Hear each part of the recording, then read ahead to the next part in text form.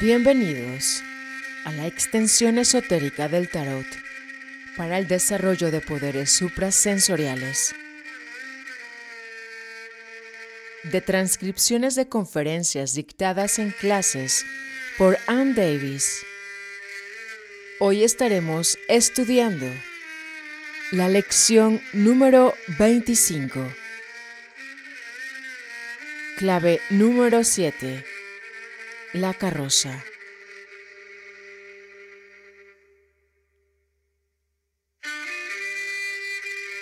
Curso posterior a Fundamentos del Tarot. Tarot de los constructores del Aditum. Builders of the Aditum. www.bota.org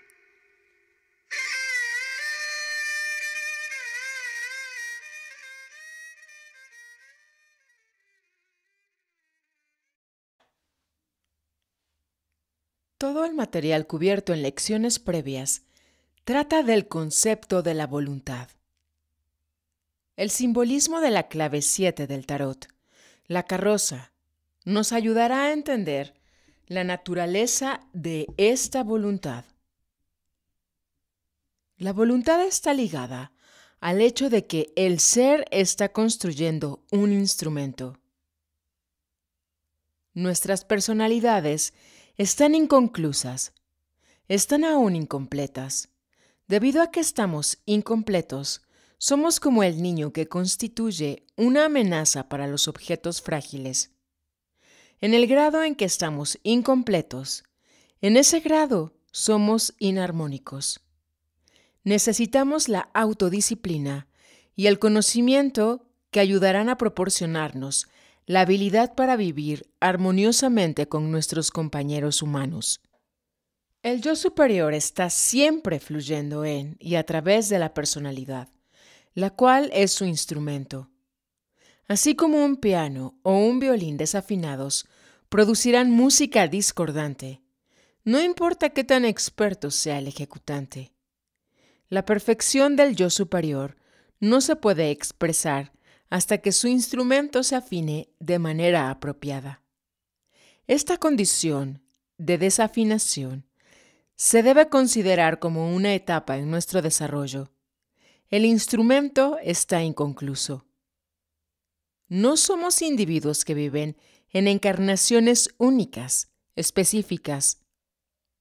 Somos una suma de una línea completa de encarnaciones que es realmente el proceso total de crecimiento para perfeccionar la personalidad. Esta encarnación es una fase particular, una limitación de la conciencia en un área específica de nuestro ser mayor. Tenemos lagunas en nuestra personalidad que requieren llenarse. Se restringe nuestra atención para completar el instrumento. Así, como para tejer se trabaja una pequeña parte del tejido cada vez, completando finalmente toda la alfombra. Cuando en una pintura grande aplicamos un poco de color a una flor en particular, eso no constituye toda la imagen. De la misma manera, una encarnación no es toda la imagen de nuestro ser. Todos queremos que nos amen y tenemos derecho a ser amados.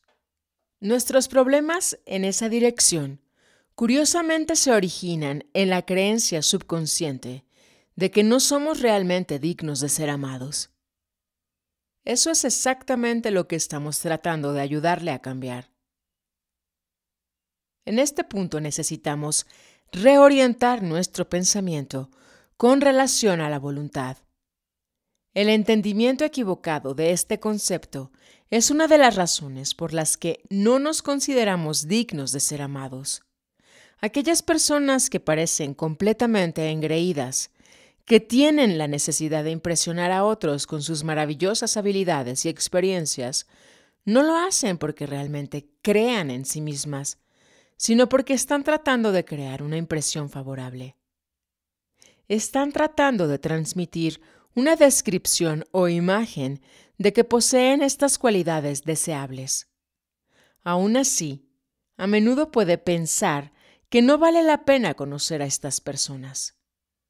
Esto es una tragedia. Vale la pena conocer a todas las personas, no importa qué tan imperfecta sea su personalidad. Con relación a la voluntad, la enseñanza esotérica es básicamente la siguiente. El ser que se encuentra en contacto con todas las partes de sí mismo, con todos los aspectos individualizados de sí mismo, tiene voluntad libre completa. Pero esta voluntad libre está en los niveles superconscientes. El entendimiento erróneo de este concepto es el que crea el problema. Tenemos la tendencia a pensar en la voluntad como algo al nivel autoconsciente. Y el nivel autoconsciente es lo que consideramos usualmente el intelecto. El intelecto es solamente un instrumento para la superconciencia. El intelecto, la mente, los pensamientos, las emociones, residen en la parte superconsciente del ser. Son como mascotas.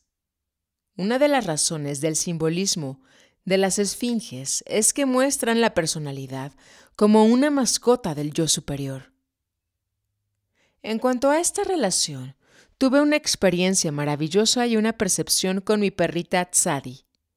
Me había estado deleitando con ella, pensando qué listo había sido Dios al hacerme un perro perfecto, perfecto en belleza, encanto e inteligencia. Estaba muy complacida con Dios me regocijaba la habilidad de esta perrita. Aunque acababa de portarse muy traviesa unos minutos antes, me sentía totalmente indulgente acerca de su travesura. Pero no queriendo que supiera esto, le dije, Oh, muchachita traviesa. Un poco después, me encontraba mirando en el espejo. Repentinamente, mi conciencia se percibió a sí misma al nivel superconsciente aparentemente por encima del resto de mí. Yo percibía al mismo tiempo las dos partes de mí misma, el yo superconsciente y el yo personal. El yo personal incluía mis emociones y mi mente. Fue una sensación fascinante.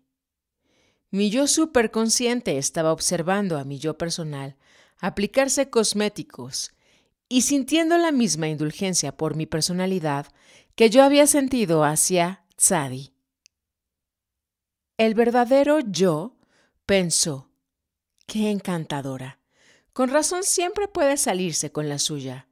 Con razón todos nos salimos con la nuestra tantas veces. Somos tan amados, somos inmensamente amados. ¿Ven ustedes? Porque nos identificamos con nuestra personalidad, nos metemos en problemas.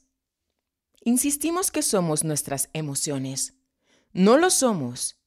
Son nuestros instrumentos. Pensamos que somos nuestras mentes. No lo somos. También son instrumentos. Nosotros somos aquello que está más allá de ellas. Nuestro verdadero ser tiene la percepción y el conocimiento que son simultáneos con el pasado, el presente y el futuro aquello que somos, tiene otro orden de conocimiento y otro orden de percepción. Esta es la percepción hacia la cual debemos estar aspirando continuamente, nuestro sublime ser suprasensorio. Todos los elementos de esta percepción y conocimiento se despertarán trabajando con el tarot. La idea de la voluntad, entonces, está ligada con la identificación que hacemos de nosotros mismos. Naturalmente que la personalidad requiere disciplina. Tenemos que ser objetivos acerca de los problemas de nuestra personalidad. Celos, envidia, temores, inseguridades, carencia de discriminación, etc. La hueste de problemas que rodean nuestra personalidad existe porque no estamos terminados aún. Nuestras personalidades no están completamente desarrolladas, pero cuando se entrena para elevar su identificación hasta ese centro superior, el aumento en el crecimiento de la personalidad, la intensificación de ese crecimiento es absolutamente increíble. Este es el secreto de lo que se llama en ocultismo el invernadero para forzar la evolución, y para efectuar esto necesitamos ayuda. Por eso la escuela interna enseña a través de mí y a través de otros canales que tienen en otros sistemas ocultos. Hay muy pocos canales dignos de confianza, menos de los que la gente cree. Existen centros verdaderos de enseñanza espiritual superior, aunque son pocos. A medida que el aspirante es entrenado para cambiar el foco de su ser de la personalidad a la individualidad, identificando la personalidad como una posesión, se perfecciona el instrumento. El secreto para desarrollar y madurar la personalidad como un verdadero instrumento, como un instrumento de Cristo o de Buda, o cualquiera que sea la terminología que le guste, el principio es el mismo. Es cambiar nuestra identificación. En muchas de las escuelas orientales de pensamiento se hace un intento trágico para hacer que el aspirante destruya lo que es llamado la personalidad, por medio de entrenarse para sentir que esta es una ilusión, una nada. La enseñanza cabalística no está de acuerdo con esta doctrina. Creemos que es un gran error intentar esta destrucción. Esto no puede tener éxito en ningún caso, pero puede desarrollarse una situación temporal de amortiguar la vitalidad como resultado de tratar de entrenarse para anular la personalidad. ¿Por qué anularla? Dios parece haberse tomado muchas molestias para experimentarse en y a través de estos instrumentos que llamamos nuestras personalidades. Y ellos están destinados a perfeccionarse en todo sentido, para que podamos ser virtuosos como instrumentos perfectamente afinados para expresar la voluntad de Dios para que podamos ser virtuosos con instrumentos perfectamente afinados para expresar la voluntad de Dios. Por consiguiente, su yo superior, aquello en usted que dice yo, elige con la voluntad completamente libre, porque existe solamente un ser experimentándose a sí mismo de innumerables maneras su yo superior selecciona la clase de experiencia que él tendrá en la encarnación. Su yo superior puede decir con Jesús, yo hago la voluntad de mi Padre y usted realmente la hace, lo sepa o no su personalidad. Pero, dirá usted, ¿qué pasa con las personas que asesinan, violan, roban? Vemos una imagen parcial y no vemos el área total del tapiz. Aquí es donde tropezamos en nuestro aprendizaje. Ningún bebé teme al fuego si no ha puesto su dedo en él. Ninguna persona evita correr escaleras abajo hasta que tropieza y se lastima. Todo es un proceso de entrenamiento. El error está en identificarse con su cuerpo, sus emociones y su mente. Todos estos son solamente efectos que cambian de encarnación en encarnación y aún hasta dentro de una misma encarnación. Usted sabe que ningún átomo de su cuerpo es el mismo que era hace solamente 10 meses. No tiene realmente el mismo cuerpo, pero le parece igual solamente debido a la imagen de su mente. Usted tiene una imagen de usted mismo debido a que Dios es conciencia y usted es conciencia. Y la conciencia sostiene imágenes. Así es como crea. Por esto decimos que la metafísica elemental no está equivocada en sus teorías creadoras, pero debido a que no considera el panorama completo, la aplicación es incorrecta. El aspirante que desea comprender los elementos más profundos de la conciencia y utilizar sus poderes en todos los niveles, debe desarrollar percepción de estos niveles. Sin este desarrollo, usted puede hacer imágenes desde ahora hasta la eternidad sin éxito alguno. Así pues, puede imaginarse tocando el piano, pero hasta que practique tocándolo, la imagen no se manifestará.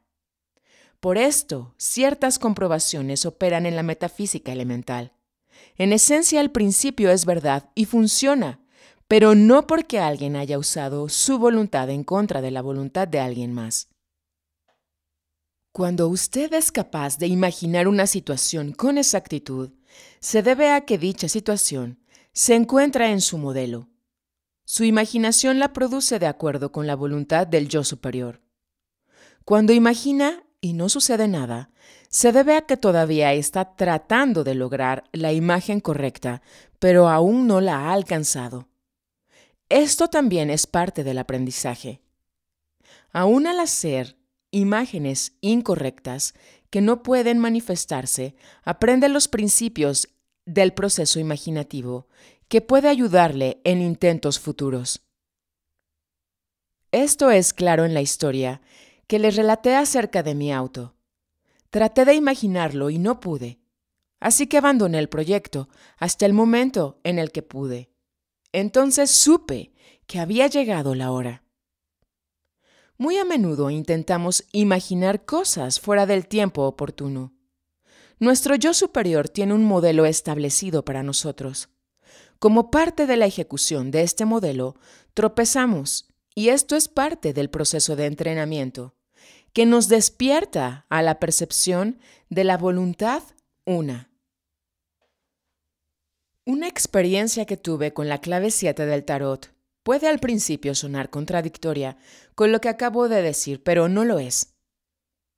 Había estado meditando en la clave 7, tratando de llegar al espíritu de su significado, y no lo estaba haciendo muy bien desde mi punto de vista. Un día me recosté para dormir una siesta, pero en vez de dormir, caí en un estado entre el sueño y la vigilia, un estado de visión. Llamaría a esta experiencia una combinación entre espiritual y psíquica. Tenía forma y sonido. Cuando la forma y el sonido aparecen, siempre sabe que está tratando con el nivel psíquico que puede ser correcto o incorrecto. La experiencia más elevada de la conciencia no tiene ni forma ni sonido. Usted se convierte en el principio, por así decirlo. Pero mientras aún experimente la forma o el sonido, la octava superior de los sentidos está tratando con niveles de lo psíquico, aunque puedan ser muy elevados y exactos. Esta experiencia fue una combinación de ambos, Parecía que había gran cantidad de personas y yo me encontraba entre ellas. Todas estaban charlando desatinadamente. Un sonido de frenesí sin significado. La clave 7 se asigna a la función del lenguaje, de las palabras. Aunque curiosamente no comprendí esto en ese momento. Me di cuenta de que un hombre y una mujer se retiraban de la multitud parlanchina y entraban a la carroza comprendí que estaba sucediendo algo de profundo significado, así que lo seguí. Este hombre y esta mujer, al entrar en la carroza, quedaron bajo el dosel. Tenían en sus rostros expresiones de la más profunda serenidad y amor que jamás haya visto.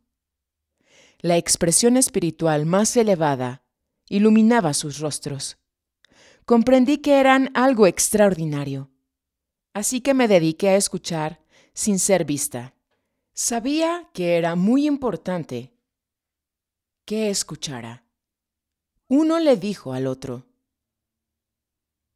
¿ves? Ellos no saben que no estamos realmente aquí para aprender algo. La vida es para vivirse.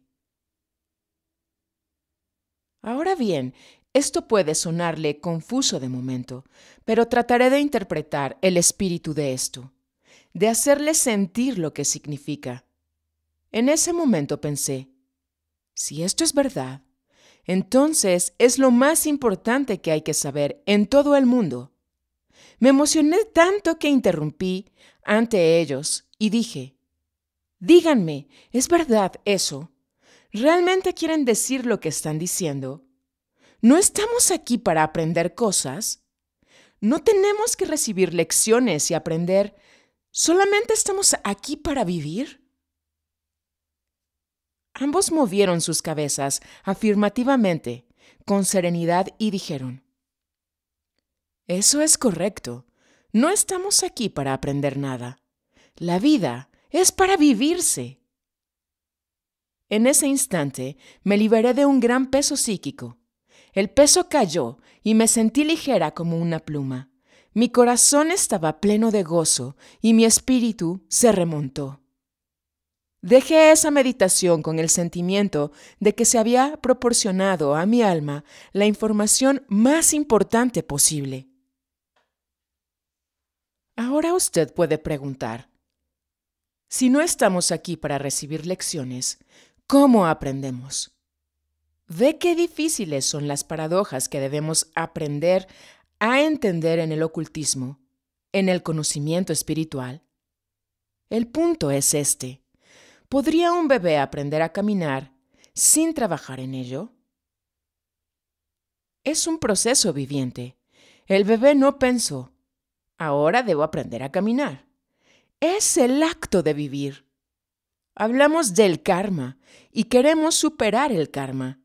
Como usted sabe, con el tarot y con el sistema cabalístico podemos apresurar todo el proceso evolutivo, en forma tal que no tenemos que cumplir el karma en la manera lenta y trágica que ha sido nuestro en el pasado. La vida es para vivirse.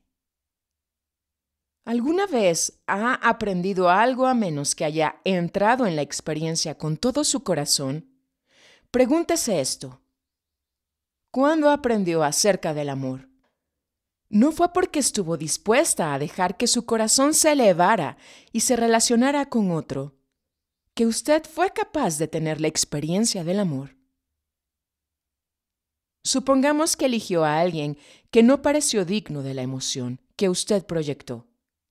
Tener esa experiencia le proporcionó un nuevo entendimiento de las relaciones, de modo que gradualmente aprendió lo que debía evitar en otra persona si deseaba ser correspondida en el amor. ¿Alguna vez ha aprendido algo que no sea a través de vivir una experiencia? El punto es que cuando nos empeñamos en aprender decimos, ¿cuál es la lección que debo aprender aquí? Debo descubrir cuál es esta lección para no verme forzada a tener que pasar por lo mismo nuevamente. Sin embargo, automáticamente comenzamos a percibir automáticamente comenzamos a comprender el significado de la experiencia. Si estamos dispuestos a permitir que el yo nos viva, que el verdadero Dios fluya en y a través de nosotros en cada experiencia. Entonces no tenemos que esforzarnos por vivir, porque cuando nos esforzamos por vivir, estamos dividiendo la mente de las emociones y no estamos entrando en el espíritu de la vida. Solamente en el grado en el que hayamos sido capaces de entrar en el pleno espíritu de cualquier experiencia, por medio de vivirla, obtenemos sabiduría y visión interior. La vida es para vivirse. Sentir que estamos aquí para aprender lecciones remueve el espíritu infantil, el asombro del niño. ¿Se preocupa el niño acerca de aprender cosas? ¿O aprende automáticamente porque tiene el espíritu de la vida y el asombro de tocar aquello, de sentir esto, de buscar otra cosa, de aparentar, de la magia del universo, de una estrella, de la luna? Qué rápido aprende el niño. ¿Y por qué? Porque no está tratando de aprender lección por lección, está viviendo tiene el espíritu de la vida. Este es su trabajo y el mío. desarrollar el ánimo para la vida, permitiendo que la voluntad de Dios nos viva. Cesar de intentar conducirnos y conducir a los demás por medio de la voluntad inferior, la voluntad de la personalidad. Cuando practique regularmente las técnicas dadas, descubrirá que dirá automáticamente las cosas correctas, no importa cómo se sienta su personalidad, hasta que finalmente su personalidad empezará a sentirse como el yo superior que quiere que se sienta. Entrénese para soltar esa carga de aflicción y permitir que Dios le viva. Dejar que el aprendizaje llegue como el crecimiento natural de una flor, en lugar de tratar de trabajar para ello. Tenga cuidado con su lenguaje. Esto es importante, porque el poder de la palabra es grande en verdad. En el trabajo oculto ceremonial entonamos los cantos cabalísticos. El poder del sonido es fantástico, y debido a que la palabra tiene detrás de ella el pensamiento, tiene poder adicional. El pensamiento es también el poder de la palabra. Así que debemos tener el cuidado de observar lo que nos decimos a nosotros y a los demás, en lo que se refiere a quién y qué somos, nuestra identificación. Debemos dejar de preocuparnos de si tenemos o no tenemos voluntad, de la elección de ir hacia la derecha o hacia la izquierda. Dígase más bien, el yo superior me hará que dé vuelta a la derecha o a la izquierda, de acuerdo con su voluntad divina, sabiendo que el yo superior es el verdadero yo. Dediqué todas mis actividades al yo superior de la manera descrita arriba, con el siguiente resultado sorprendente. Había estado practicando diariamente la entrega de la personalidad al yo superior. Esta entrega era una dedicación que yo repetía muchas veces al día. Mi dedicación era en esencia la siguiente. Sé que debo usar mi juicio para todas las cosas y luego tomar acción, pero mi verdadera voluntad es hacer la voluntad del yo superior. Por consiguiente, me dedico a elevar mi conciencia siempre y a ofrecer mi personalidad y el resultado de mis actos a la voluntad divina Además, me dedico a mantener mi personalidad totalmente abierta a la guía de ese Ser Supremo, hasta el punto de ayudarme a invertir cualquier decisión que pudiera no estar de acuerdo con el plan cósmico. Después de hacer esta dedicación, procedía a hacer lo que el juicio me dictara con la sensación de que si la decisión estaba equivocada para ese periodo de mi desarrollo, le correspondía al yo superior cambiarla. Esta dedicación me proporcionó serenidad más allá de lo que la mayoría de las personas experimentan. Algunos meses después de hacer esta dedicación, tuve una pelea con el Dr. Case, con quien había estado trabajando entonces por cerca de seis meses. Me encontraba turbada y herida, y decidí que no era apreciada, así que decidí irme. Cuando estaba próxima a recoger mis pertenencias e irme para mi hogar, recordé repentinamente mi dedicación. Me dirigí hacia el yo superior en busca de guía y repentinamente, ante mi total asombro, levité y me elevé del suelo. Pasé por la puerta y me dirigí hasta donde estaba el doctor Case. Ante el horror de mi personalidad injuriada, me encontré diciendo, No me iré. Le prometo que nunca le dejaré mientras usted viva. Mi ego estaba horrorizado de lo que yo había dicho. Algo más, el yo superior tomó el control porque precisamente cuando estaba próxima a irme, recordé mi dedicación y elevé mi conciencia, dispuesta a que el ser divino intercediera. Esto le indica lo que puede suceder y cómo. Aun cuando desea hacer algo negativo, se asombrará de encontrar que algo más tomará el control y usted dirá algo amable, constructivo. Aunque se encuentre próximo a permitir que su personalidad inferior tome comando. Técnica para el uso de la clave 7 del tarot, la carroza.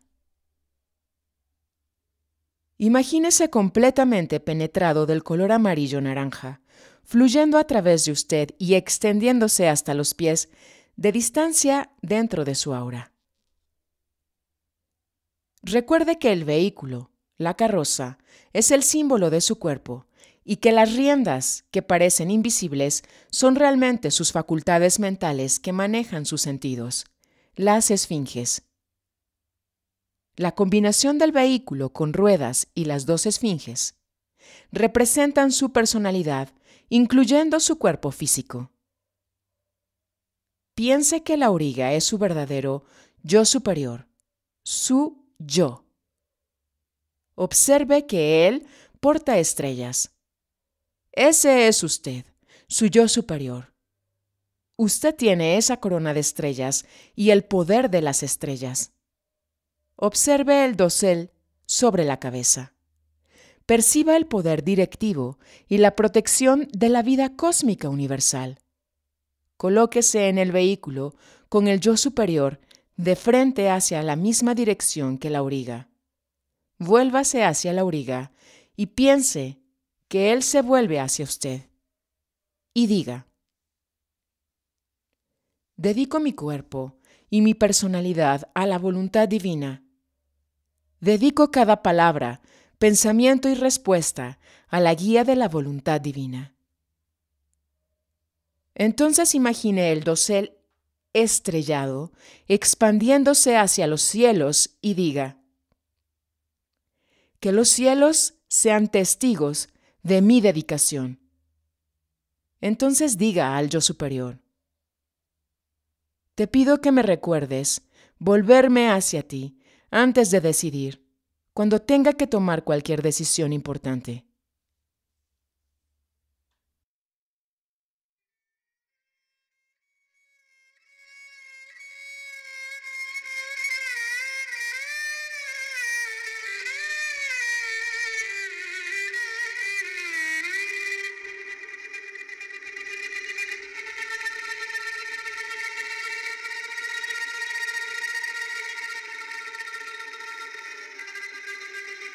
Viviendo la vida. Un miércoles 10 de agosto del año 2022, siendo las 10 con 22 horas de la mañana. Mañana plena de sol. Mañana húmeda. Se respira muy limpio.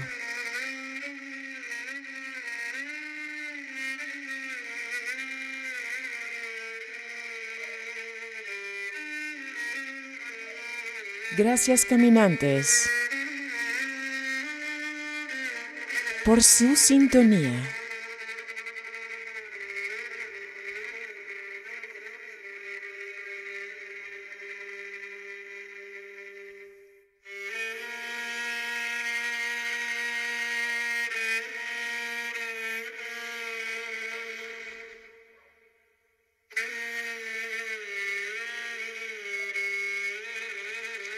Abriendo la posibilidad de soltar todo aquello